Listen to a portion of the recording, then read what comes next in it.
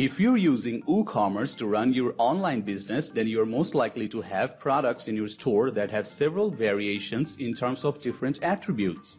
Those variations are displayed in typical drop-down options in the WooCommerce plugin by default. If you're tired of this tedious drop-down option and want to use something more user-friendly like variation swatches, you should take a look at the Swatchly plugin. In today's video, I'm gonna show you how to replace those typical drop-down options with beautiful variation swatches. First of all, we need to install the Swatchly plugin. To do so, navigate to the Plugins menu and click on Add New. Then upload and install the plugin file.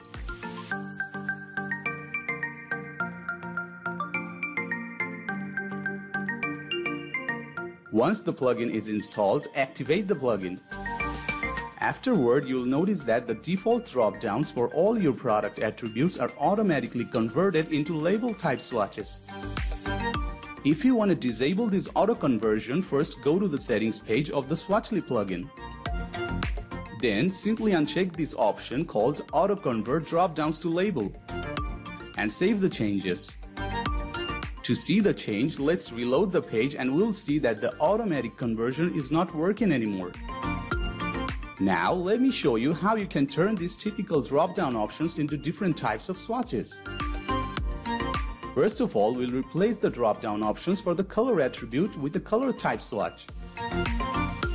To do this, firstly click on Attributes located under the Products menu. As you can see, for all our attributes such as color, material and size, the default option here is set to select.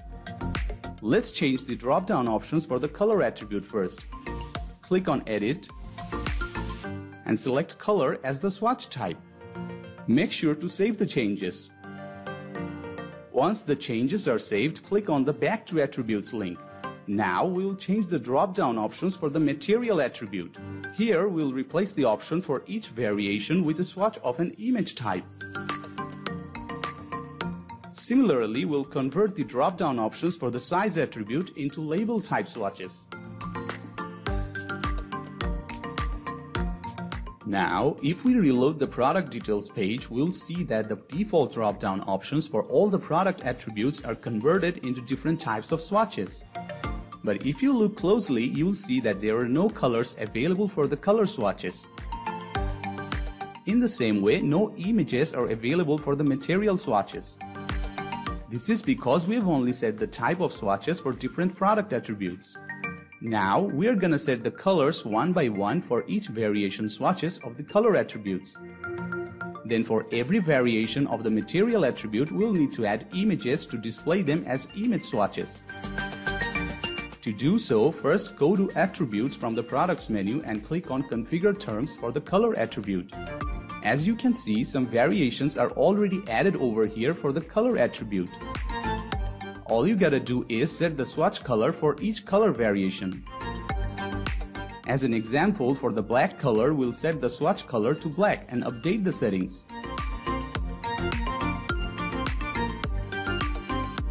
Likewise, we'll set the swatch colors for the remaining variations.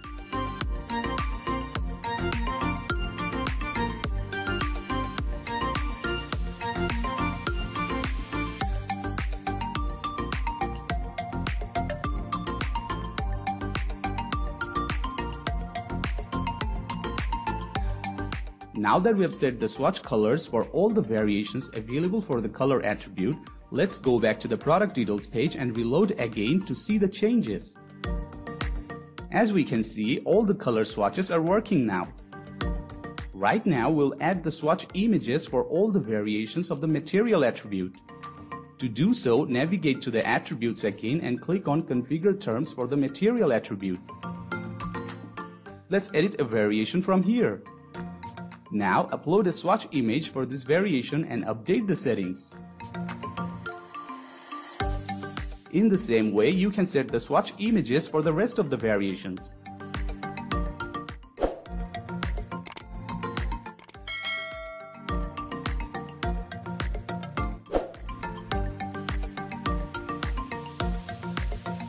Now let's go ahead and check the page to see whether everything is working properly. Once we reload the page, we'll see all the image swatches are functioning as expected. So this is how you can configure the Swatchly plugin to transform the bland looking drop-down options into more convenient swatches. If you have any questions or suggestions regarding this video, please let us know in the comments below or you can contact us directly from our website hasthemes.com. Thank you.